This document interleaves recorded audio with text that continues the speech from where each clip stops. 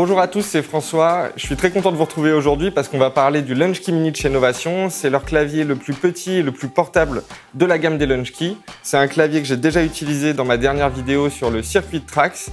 D'ailleurs, vous pourrez retrouver cette vidéo sur le lien juste ici. Je vous présente ce clavier parce qu'il a trois atouts notables. Le premier, c'est son intégration à Ableton qui est extrêmement poussée. La deuxième chose que je voulais vous montrer, c'est son arpégiateur qui sort vraiment du lot pour un clavier maître 25 touches à ce prix-là. Et la troisième partie, c'est le fait qu'il peut être utilisé en standalone via sa prise MIDI out pour contrôler des synthés externes. Donc dans cette première partie, on va d'abord parler euh, du petit clavier en lui-même et on va voir ensemble pourquoi est-ce qu'il colle bien avec Ableton Live. Donc on va retrouver deux rangées de 8 pads, donc 16 au total, RGB qui vont reprendre toutes les couleurs disponibles dans le mode session d'Ableton et on va également retrouver 8 encodeurs. Donc si on a deux rangées de 8 pads et 8 encodeurs, ce n'est pas pour rien, c'est parce que Ableton Live Lite comprend au maximum 8 pistes et il est livré gratuitement avec le clavier. Lorsque j'appuie sur la fonction Shift, on va pouvoir arriver dans différents modes. Donc 3 modes disponibles pour les pads et 5 modes disponibles pour les encodeurs. Donc on part de suite sur le mode session, qui est accessible en utilisant le bouton Shift et qui représente en fait notre grille Ableton Live. Donc on va pouvoir, grâce à cette fonction Shift, naviguer d'une piste à l'autre, de gauche à droite. Et on va également pouvoir naviguer entre nos scènes de haut en bas. Autre fonctionnalité disponible via les pads se trouve juste ici, c'est-à-dire qu'on va avoir la possibilité de stopper, de mettre en solo ou de muter certaines des pistes. Je vais vous montrer de suite.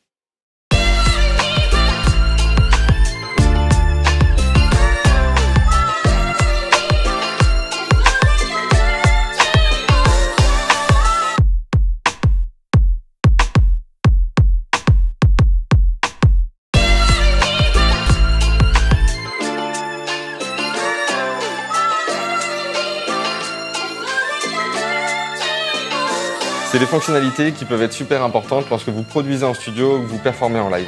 J'en profite d'ailleurs pour vous dire que euh, cette loupe, je l'ai récupérée sur Splice et avec l'achat d'un Lunchkey Mini, vous avez deux mois d'abonnement gratuit à Splice, qui est l'un des plus grands sites de mise à disposition d'échantillons. Le deuxième mode disponible pour les pads, c'est le mode drum, qui va tout simplement vous permettre en fait de retrouver les éléments de votre batterie que vous trouvez dans le drum rack euh, dans Ableton Live et de pouvoir venir jouer au doigt les différents éléments de votre batterie. On a ensuite un mode custom qu'on va pouvoir venir paramétrer directement dans Novation Components. C'est un logiciel qui est offert gratuitement avec l'achat du Lunchkey Mini et qui est aussi accessible via une adresse internet qu'on mettra bien sûr dans la description de la vidéo. Je veux maintenant vous montrer les différentes fonctions qu'on peut assigner aux encodeurs et vous verrez il y en a 5. Donc la première c'est Device, c'est-à-dire qu'on va pouvoir venir contrôler directement les 8 macros disponibles par instrument, plugin ou effet dans Ableton Live. Pour cette démonstration, j'ai tout simplement pris un filtre que j'ai mis sur l'ensemble de ma piste. Donc on va pouvoir venir jouer sur, entre autres, euh, la fréquence de coupure du filtre et la résonance. Tout ça, c'est des paramètres que j'ai mappés euh, dans Ableton. Ça m'a pris deux clics.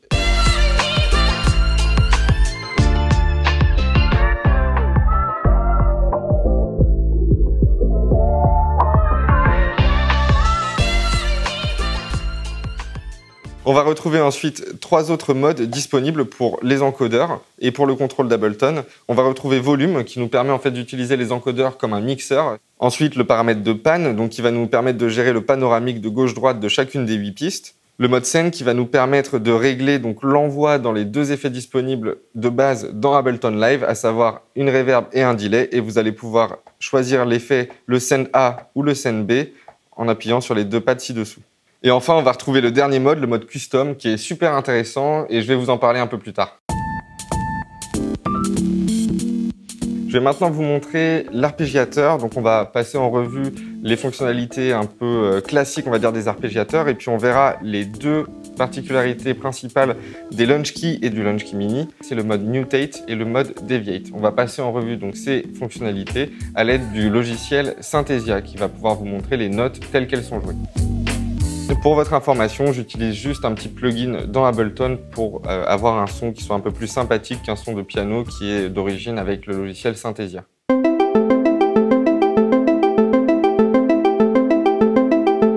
Donc vous retrouvez les paramètres de mode classique, donc up, down, up down, played qui correspond à la manière dont sont joués les accords, random, aléatoire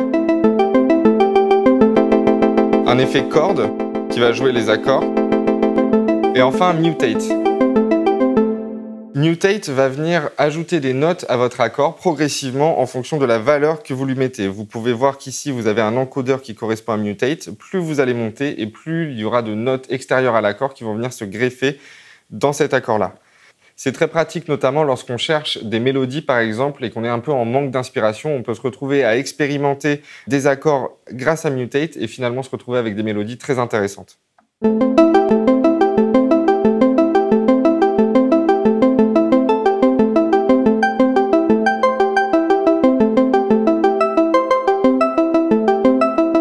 Avec Mutate, le pattern reste le même lorsque vous ne touchez plus à l'encodeur. Dès que vous le bougez, que ce soit en plus ou en moins, l'accord et les notes jouées dans ce pattern-là vont changer.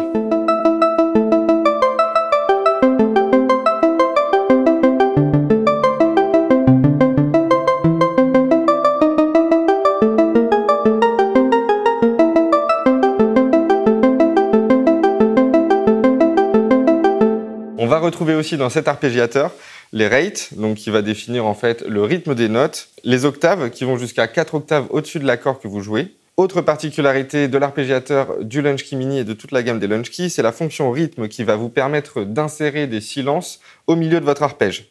Je vais vous montrer. Donc là, je me trouve actuellement dans le rythme numéro 1, c'est-à-dire pas de silence entre les notes.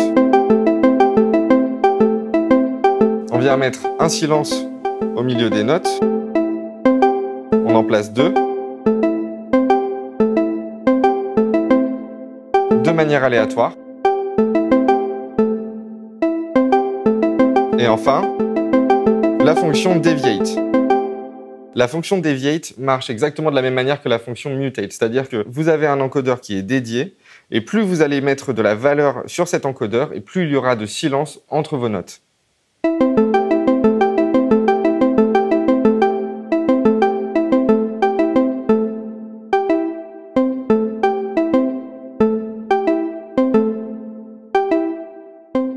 Je voulais vraiment vous montrer ces deux fonctionnalités qui sont originales et innovantes et qui peuvent vous aider que vous soyez en train de composer ou alors pour des performances live.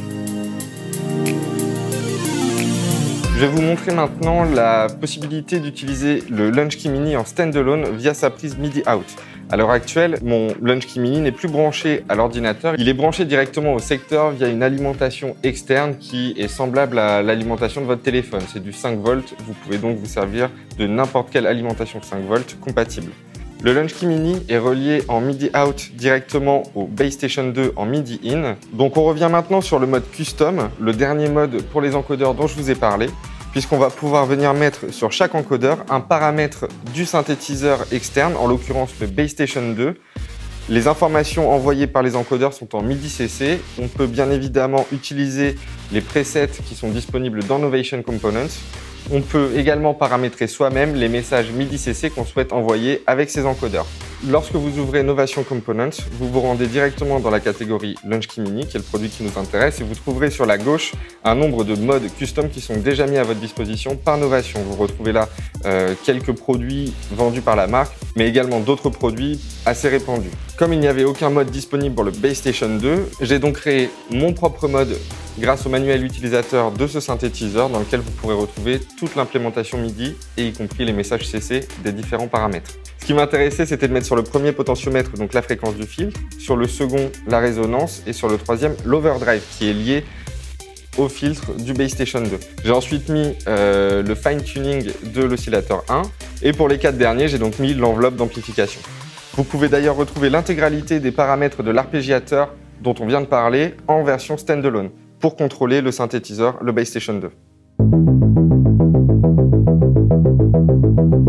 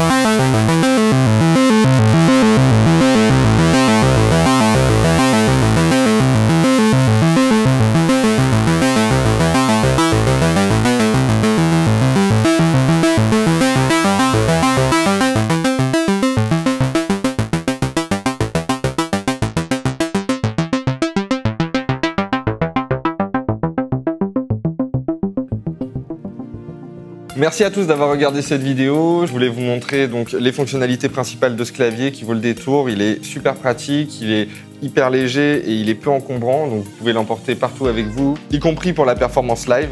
N'hésitez pas à aller chez votre vendeur le plus proche pour aller l'essayer et nous on se retrouve bientôt pour une nouvelle vidéo.